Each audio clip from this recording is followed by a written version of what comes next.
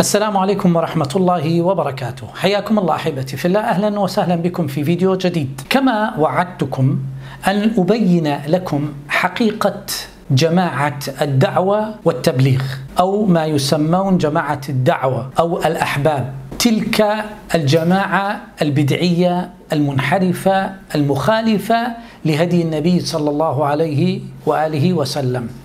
إلى ماذا يدعون؟ يدعون إلى جمع الناس وزيادة أعدادهم. ليس دعوتهم إلى دين محمد صلى الله عليه وسلم فدين محمد هو الدعوة إلى التوحيد وهؤلاء ما عندهم الدعوة إلى التوحيد لأنهم لو دعوا إلى التوحيد فيجب عليهم أن يتخلصوا من القبور والشركيات والبدعيات التي عندهم. على سبيل المثال محمد إلياس الكاندهلوي أين قبره؟ في المسجد. نعم يتبركون بقبره في المسجد. هو مؤسس جماعتهم وهو كبيرهم الذي علمهم البدع والخرافات. هذه الجماعة التي لها وجهان وجه مزور ووجه حقيقي. الوجه المزور هو السلم وحب الناس ودعوة الناس. لكن هيهات إذا تكلمت على هذه الجماعة فأنت وهابي خبيث يصرحون بذلك ولا يستحون ولا يخجلون. نعم هذه هي حقيقة هؤلاء وهذا هو مؤسسهم. أنا أنصح الإخوة أن يتابعوا بعض التعليقات التي علق عليها بعض الناس في الفيديو السابق. فيديو بعنوان اعتذار إلى جماعة الدعوة والتبليغ. فقد ذكروا ممن كانوا معهم وكيف كانت طريقتهم وضلالهم وانحرافهم ثم هداه الله سبحانه وتعالى وخرج من عندهم. وبعد ما خرج هددوه وطعنوا فيه واتهموه أقول لكم احذروا من هذه الجماعة الصوفية اللي تجتمع على أربع طرق صوفية منها الجشتية الذي هو ينتمي إليه محمد إلياس الكاندهلوي. هذا الرجل ولد عام 1302 هجري وتوفي عام 1363 هجري. محمد إلياس بن محمد إسماعيل الديوبندي الجشتي الكاندهلوي ثم الدهلوي. والديوبندية نسبة إلى مدرسة دار العلوم بديوبند وهي مدرسة تتبنى العقيدة الماتوريدية التي تعرف الإيمان بأنه اعتقاد القلب وتنكر زيادة الإيمان ونقصانه وتنفي علو الله على عرشه كما تتبنى التعصب للمذهب الحنفي. ذلك التعصب الذي يعني الاستمساك بالمذهب ولو خالف أدلة الكتاب والسنة ويزعم الديوبندية أن النبي صلى الله عليه وسلم هو الذي أسس هذه المدرسة بل شطحوا بعيدا فزعموا أن رسول الله صلى الله عليه وسلم يأتي إليها أحيانا هو وبعض أصحابه لتدقيق حساباتهم. خبتم وخسرتم. الجشتية طريقة صوفية هندية تنسب إلى خواجة معين الدين الجشتي. ومن عجائب الجشتي هذا أنه اختبر شخصا أراد أن يكون مريدا عنده بأن يقول له لا إله إلا الله جشتي رسول الله. فقالها فبايعه ثم أخبره أنه أمره بذلك اختبارا لطاعته وانقياده. نعم.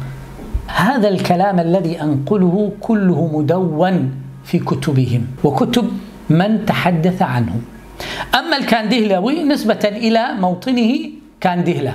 الدهلوي نسبة إلى دلهي عاصمة الهند وتسمى اليوم أيضا دلهي. نأتي إلى التصوف عند هذا الرجل، يدافعون عن شيخهم أنه ما عنده شركيات، ما عنده خرافات، وأنا ذكرت لكم أنه جشتي وقد بايع الشيخ رشيد الكنكوهي وهو القائل وأحلف بالله أنا لست بشيء إلا أن الهداية والنجاة في هذا الزمان تتوقف على أتباعي. هذا شيخه يقول هذا. يعني لا هداية ولا نجاة في هذا الزمان إلا باتباع جماعة الدعوة والتبليغ.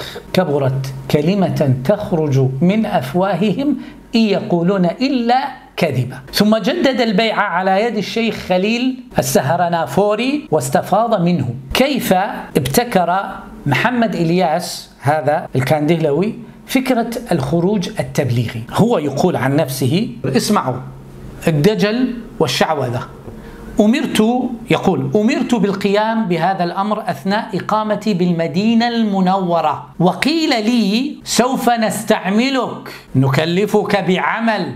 هذا كلام كأنه نبي. من يستعمله؟ من يكلفه؟ رب العالمين. يعني يوحى إليه فهل كان نبيا يوحى إليه ويقول ألقي في روعي تفسير الآية المذكورة أي آية كنتم خير أمة أخرجت للناس. وذلك أن مثلكم مثل الأنبياء. وعبر عن هذا المعنى بكلمة أخرجت. إشارة إلى أنكم ستخرجون من دار إلى دار ومن بيت إلى بيت لا تستقرون في مكان. وتفسير أخرجت بالخروج التبليغي هو من تفسير القرآن بالرأي المحض الذي ليس عليه دليل من كتاب ولا سنة ولا قول صحابي ولا لغة بل المقصود أظهرت وأبرزت للناس.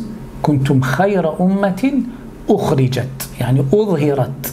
وأبرزت للناس. كما يعرف ذلك بالرجوع إلى كتب التفسير المعتبرة. يعني تخيلوا أن أساس هذه الطريقة مبني على المنامات بحيث جعلوا المنامات والخواطر مصدرا لمعرفة معاني القرآن. وهذا والله مزلق خطير يؤدي إلى إفساد الشريعة وأن شريعتهم فاسدة. شريعة الذي يتبعونها فاسدة بسبب فسادهم والتعبير بالإلقاء في الروع هو مضاهاة لأحد أنواع الوحي.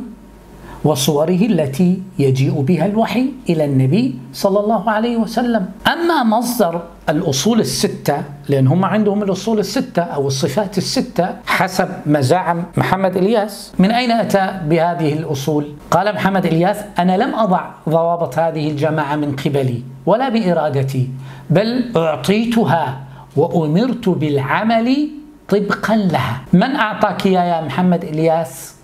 من أين أتيت بها؟ من الشيطان وإلا فهل كان نبيا يوحى اليه ويؤمر؟ ما في حل وسط يعني، من أعطاك المنامات الشيطانية أو أنك نبي؟ وقد ذكر بعض الباحثين أن الأصول الستة أول من اخترعها بديع الزمان النورسي. ذلك الرجل الصوفي المتوفى سنة 79 و300 بعد الألف من هجرة المصطفى صلى الله عليه وسلم. لا محمد إلياس وإنما أخذها محمد إلياس عنه.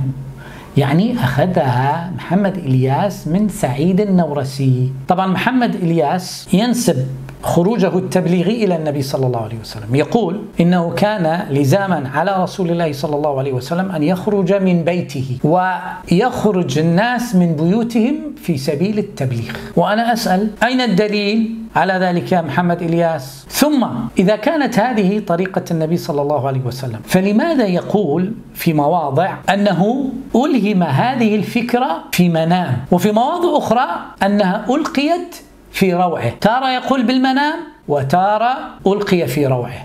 ألقي في روعه عمل الأنبياء.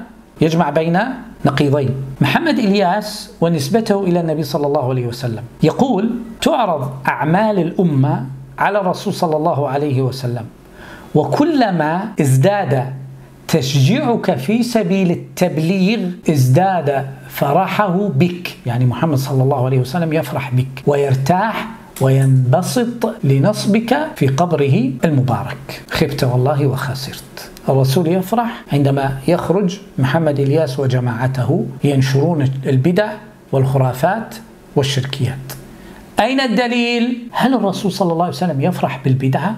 نأتي إلى موقف محمد إلياس من قصيدة البردة الشركية يقول عنها قصيدة البردة عندنا من المقرر قراءته على العلماء. وهذه القصيدة سيئة جدا فيها ومن علمك علم اللوح والقلم. قصيدة فيها الغلو في النبي صلى الله عليه وسلم ما يبلغ إلى درجة الشرك بالله والعياذ بالله.